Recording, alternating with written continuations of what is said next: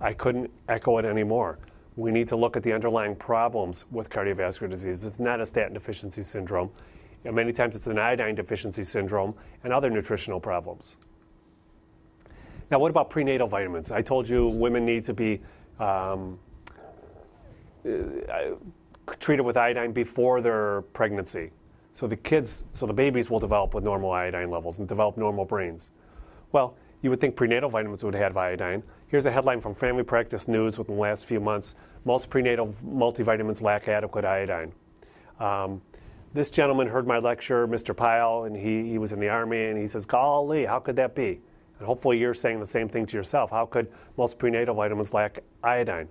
Only 28% of prescription prenatal vitamins presently contain iodine. The average iodine content of the iodine containing prenatal vitamins was found to be below the RDA for iodine. And of the prenatal vitamins that do contain iodine, only 15% have more than 150 micrograms, which is the RDA for iodine per daily dose. I say it's a public health di- disaster that's unparalleled and ongoing, and nobody seems to want to stop it. Yet they want to push this healthcare trillion dollar overhaul through when this would cost pennies compared to that. So, iodine, it's a fabulous substance for elevating pH. It's a great alkalinizing substance. The sicker somebody is, generally the more acidic they are. Taking iodine can elevate your pH. An elevated pH or normal pH helps you absorb minerals better, helps you absorb vitamins better, helps your metabolism better, helps you feel better, helps you with energy production. Um, I check pHs on my patients all the time. Its deficiency causes intellectual deficiency, goiter, hypothyroidism, autoimmune thyroid illness, thyroid cancer, as well as other cancers. It's necessary for the production of all the thyroid hormones T4, T3, T2, T1. The 4, 3, 2, and 1 refer to how many iodine molecules are on that thyroid, thyroid globulin hormone. It's necessary for the production of all the hormones of the body the adrenals, the ovaries, the testicles. All the hormones of the body need adequate amounts of iodine. and iodine is also responsible for the formation of the normal architecture of the glandular tissue. That includes the breast, the thyroid, the ovaries, probably the prostate, even though the studies haven't been done. What about cigarette smoking for those who smoke? Well, the problem with cigarette smoking is you, in, you get cyanide into your body. It's met- quickly metabolized to thiocyanate. Now, thiocyanate is a molecule that blocks iodine absorption into the glands of the body. And what they found in this study was the mean breast milk of iodine was nearly four times higher in non smokers as compared to smokers. And I've been telling you, most people are iodine deficient. Now I'm telling you, smokers are four times lower than non smokers, and everybody's deficient. So, the most misunderstood nutrient, iodine, its trace element is found in small amounts in the human body. Um, it's usually found in seawater and sea organisms such as seaweed. And the soil near the ocean can contain large amounts of iodine. Therefore, plants grown in iodine containing soil will have adequate iodine levels. And I, we know iodine combined with salt when we get iodine salt. So, the therapeutic actions of this most misunderstood nutrient is that it is a wonderful alkalinizing agent. It has antibacterial properties. In fact, no bacteria has been shown to be resistant to iodine.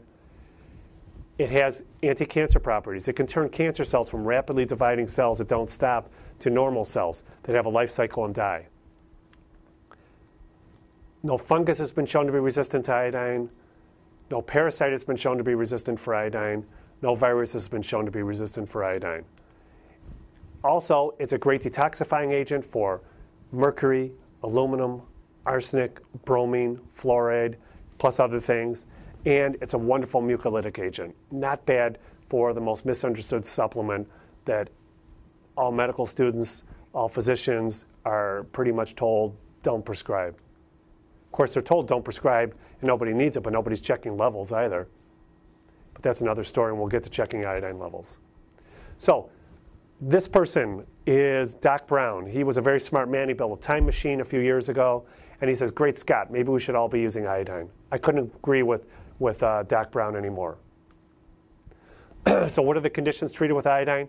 here's a who's who of who's not feeling well and why we need, you know, why President Obama is proposing a trillion dollar overhaul for our health care. All these conditions on this slide can be related to iodine deficiency.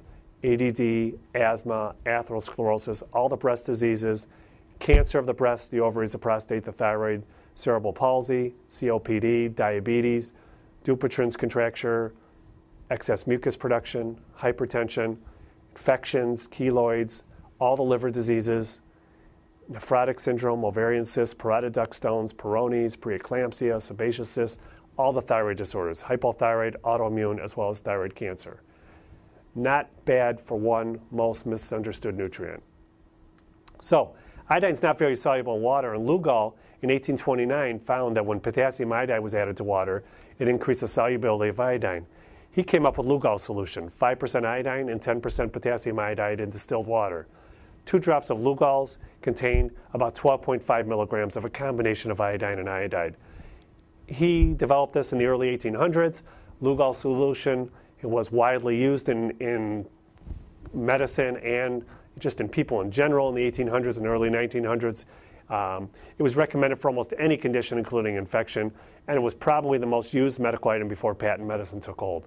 Once patent medicine took hold after World War II, Big Pharma really had no use for iodine since it was such a cheap substance and couldn't be patented. Now, this is what I was using originally in my practice about 17 years ago SSKI. One drop of SSKI was 50 milligrams of iodine, but I didn't do my homework and I didn't look at what else was in SSKI, which is glycerin, ethanol, and acetone.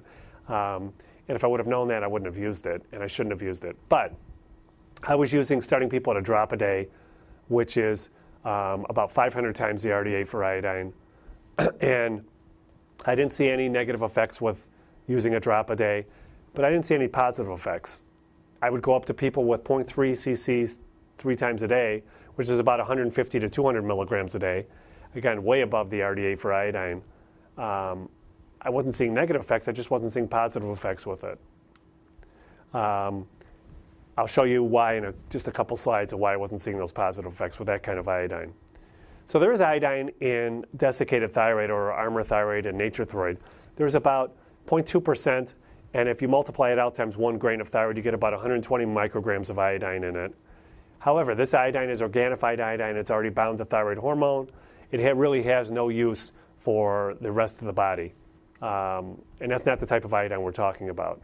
So just back here to remind you what the RDA for iodine, remember it's for rats, drugs, and assumptions. It's enough for baby rats to get enough iodine, but certainly not enough for us human folk. So iodine's a rare element, 62nd in abundance of the elements of the earth. It's at the bottom third of the elements in terms of abundance. the reduced form of iodine is known as iodide. It has an extra electron in its outer shell, which gives it a full complement of electrons. This next slide shows you um, iodine the oxidized form of iodine. You can see here that it's lacking an electron in its outer shell.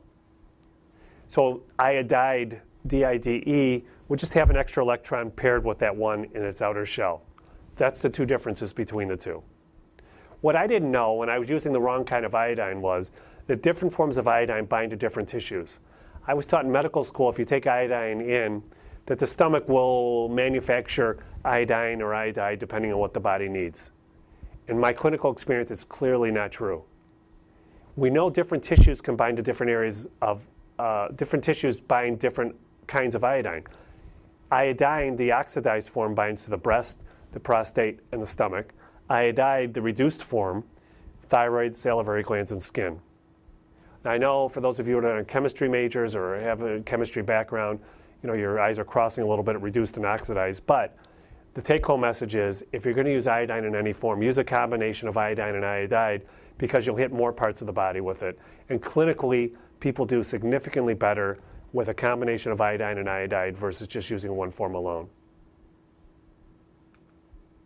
So, every cell in the body contains and utilizes iodine. The white blood cells can't effectively guard against infection without adequate amounts of iodine. It's concentrated in the glandular system of the body, thyroid, the ovaries, the uterus, the prostate, the endometrium. Now, the thyroid gland contains the largest amount of iodine at saturation, um, 50 milligrams. The breasts, the salivary glands, the parotid glands, the pancreas, cerebral spinal fluid, brain, stomach, skin, the eye glands also contain significant amounts of iodine. Iodine is transported across the cell via this symporter. It's called the sodium iodine symporter, and you can think about it like a little car that just drives iodine across the border into the cell. Now, maximally, you can transport 600 micrograms per day of iodine into the thyroid gland. So let's think about that number 600 micrograms per day. That's four times the RDA for iodine. So if you want to maximize iodine intake into the thyroid gland, um, the RDA isn't even sufficient to do that. That's why I say it's for truly for rats. Now, at saturation, if you have enough iodine head to toe, about one and a half to two grams is stored in the body at sufficiency. The fat tissue stores the most, the muscle tissue stores second most, the thyroid is there for comparison. But the thyroid has the highest concentration of iodine. Every organ and all tissues contain iodine. The first iodine studies were done in the US by David Marine. Now, in the, in the turn of the 20th century, as the population was expanding from east to west, um, there was an epidemic of goiter going on, particularly in the Midwest. And the, the, it wasn't just people that were getting goiter, animals were getting goiter, animals weren't growing to the right size, and they were having problems procreating the animals. So the US government was beginning to worry that the population was going to outstrip the food supply as we expanded from east to west. Now, this was particularly evident in the Midwest, where I, where I live, in Ohio, Michigan, Indiana, Illinois. Um, and David Marine was a medical student who wrote a paper on iodine, and he became the de facto um, expert on iodine. The government called him in to look at the animal population and the animal problems with goiter and not procreating correctly. So he knew about the earlier studies from Boussingault in the 1800s, and he put various amounts of iodine in animal feed, and he looked at the results of the animals. And what he found was a certain amount of iodine would prevent goiter. The animals would grow to the right size, they would procreate correctly, and he published an article on it. Um, and the government asked him to look at people because people were suffering from goiter at epidemic rate. His first study was Akron, Ohio. Why did he choose Akron, Ohio? Well, number one, that's where he was from. But number two, 56% of school age girls had goiter at the turn of the 20th century in Akron, Ohio.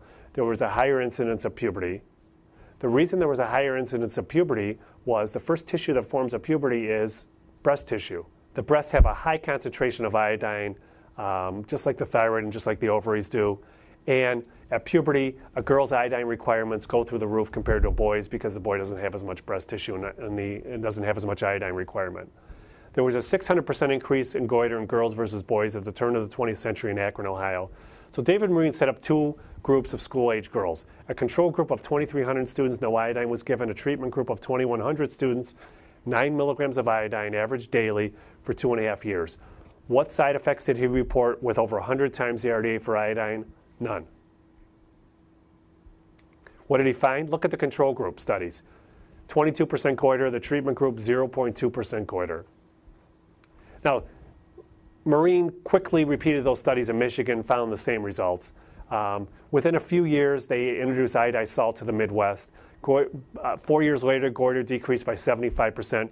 The United States quickly added iodine to salt for the rest of the country. It was hailed as the first public health miracle, which it was. Adding iodine to salt caused goiter rates to markedly decline. Um, and really, the end of, of the interest in iodine came about because of this. World War II came, then patent medicine took hold. Iodine was an inexpensive, non patentable substance, and everybody thought we were getting enough in salt because people weren't getting goiters anymore. Here's a map of World War I recruits, about 1917 or so. And you could see the whole country is suffering from an iodine deficiency problem. And the black is the worst, but really from east to west, north to south, the whole country is suffering from a, an iodine deficiency problem because everyone's got goiters. And these were mostly men, um, so this wasn't even reflective of the women. This has been going on a long time in our country. So how do you adjust iodine? It's not very common in most foods. Um, it is in some ocean foods.